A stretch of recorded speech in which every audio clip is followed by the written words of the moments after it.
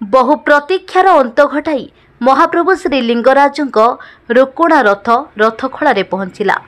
ବାହୁଡ଼ା ଯାତ୍ରାରେ ମହାପ୍ରଭୁ ଗତ ଦୁଇ ଦିନ ଧରି ରଥ ଉପରେ ମହାପ୍ରଭୁଙ୍କ ନିକଟରେ ଏବଂ ରଥ ଦାଣ୍ଡରେ ରାତ୍ରିଯାପନ କରିବା ପରେ ମହାପ୍ରଭୁ ଶ୍ରୀ ଲିଙ୍ଗରାଜ ମହାପ୍ରଭୁ ଶ୍ରୀ ଦୋଳଗୋବିନ୍ଦ ଏବଂ ମା ରୁକ୍ମିଣୀ ଦେବୀ ମହାଖଳା ପହଞ୍ଚିଥିଲେ।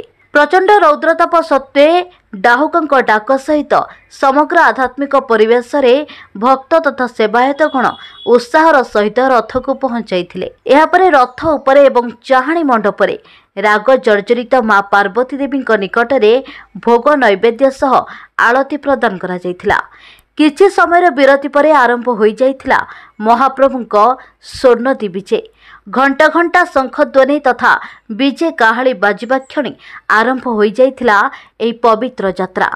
ଏଥିରେ ଶ୍ରୀକ୍ଷେତ୍ର ପୁରୀଧାମର କୃଷ୍ଣମଣି କଳାନିକେତନରୁ ଆସିଥିବା ଓଡ଼ିଶୀ ଗୁରୁ କୃଷ୍ଣ କୁମାର ଦାସ ଏବଂ ଅନୁଷ୍ଠାନର ସମସ୍ତ ନୃତ୍ୟଶିଳ୍ପୀଙ୍କ ବିଭିନ୍ନ ଅଙ୍ଗଭଙ୍ଗୀ ସମ୍ମିଳିତ ଓଡ଼ିଶୀ ନୃତ୍ୟ ଅତ୍ୟନ୍ତ ଆକର୍ଷଣୀୟ ଥିଲା।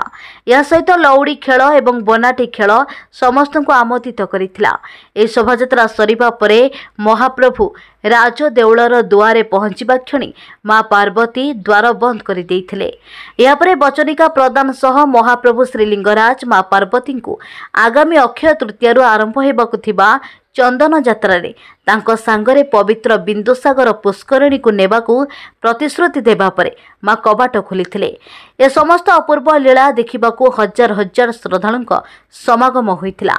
ଏହାପରେ ମନ୍ଦିରରେ ମହାଦୀପ ଉଠିବା ସହ ଅନ୍ୟାନ୍ୟ ନୀତି ବଢ଼ିଥିଲା। ଭୁବନେଶ୍ୱରରୁ ବିଶ୍ୱଜିତ ଦାସଙ୍କ ରିପୋର୍ଟ।